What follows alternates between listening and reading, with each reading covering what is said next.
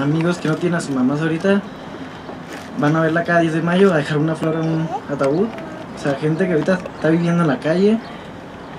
Yo, por ejemplo, pues yo estoy, muy agradecido con la red, sobre todo pues con acá, aquel chico llamado Iván, que es el que nos ha apoyado a todos, a Ceci, que es el que nos sacó adelante, a muchos nos ayudó a conseguir un trabajo cuando muchos no nos lo dieron, hasta incluso los ha ayudado en comida, o sea, pues lo que muchos han visto que a nadie le ha dado, o sea, como muchos chavos que ni siquiera creían en ellos, que lo veían como una persona más que, sea, ellos nomás vienen porque les pagan y ya. Una persona que no nos van a escuchar, no van a atender a nadie, o sea, las palabras las escuchamos como si fueran vientos y los hacíamos a un lado. Ni siquiera los queríamos aquí, o sea, pero, o sea, ellos se aferraron tanto a unas personas, por ejemplo, yo tengo una cierta personita, que es como mi mejor amigo últimamente, que su mamá simplemente no lo hace en su vida, no lo hace. Se la pasa llorando, todos los días se la pasa contándome sus problemas, llorando.